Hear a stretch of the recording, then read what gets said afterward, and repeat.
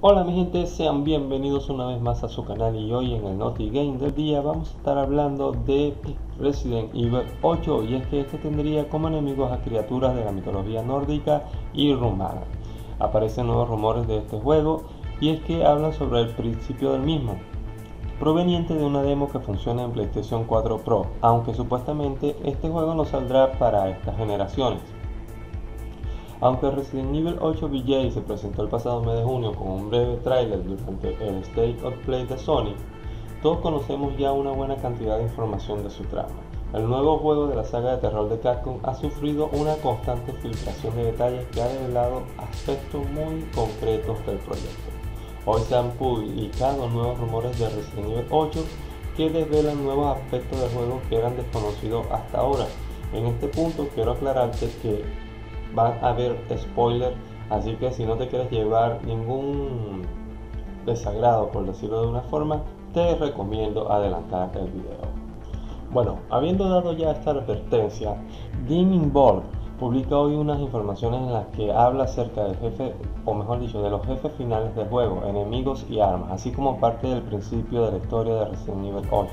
Estas filtraciones provienen de unas sesiones de testeo que se han llevado a cabo con personas que han podido probar una demo que estaba disponible desde el lanzamiento de Resident Evil 3 Remake.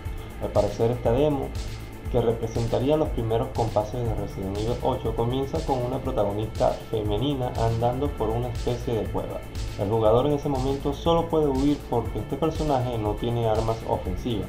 Mientras huye, entra en estado de pánico porque le van atacando enemigos. Entre ellos un nuevo monstruo que se asemeja a una bruja. La persona que ha filtrado esta información añade que la cueva estaba tan oscura que incluso tuvo que reajustar el brillo en varias ocasiones. Se habla también de unos seres que atemorizan a esta protagonista que se llamarían Strigoi y según estas filtraciones llevarían espadas y contarían con la habilidad de coger al jugador y morderlo. Las fuentes que han filtrado estos rumores hablan del diseño de estos enemigos como un Krampus, Krampus, disculpen ahí la pronunciación. Ese ser mitológico que según las leyendas de países nórdicos castiga a los niños cuando llega Navidad. Estos Strigoi estarían controlados por la bruja que mencionábamos antes que recibirá el nombre de Scarlet. Según las fuentes, esta demo estaba funcionando en una PlayStation 4 Pro, algo interesante porque de momento se ha anunciado que Resident Evil 8 va a salir en las actuales generaciones. Pero bueno, todavía nada se ha concretado y lo más probable es que se vea o que vea la luz en PlayStation 5, Xbox Series y PC.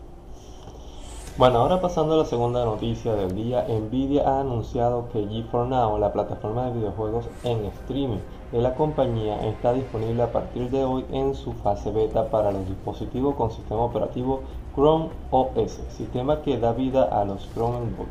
A partir de ahora, los usuarios de este tipo de dispositivos podrán acceder a más de 650 juegos de manera instantánea, incluyendo juegos como Far Cry 5, Shadow of the Tomb Raider o cuando se lance Cyberpunk 2077 a través de GeForce Now sin tener que, por ejemplo, esperar a su descarga e instalación.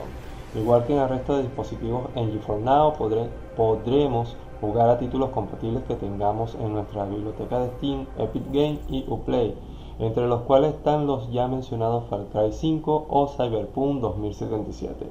Pero también encontraremos otros como Hyperscape, Assassin's Creed Odyssey, y Destiny 2 sin tener que proceder a comprarlos de nuevo ya que lo tendríamos en nuestra biblioteca. Los usuarios interesados en el servicio podrán también beneficiarse de una promoción limitada que ofrecerá 6 meses de suscripción a un precio de 27,45 euros, en lo que se podrán disfrutar también de contenidos exclusivos para Hyper Escape, el Battle, el Battle Royale futurista de Ubisoft.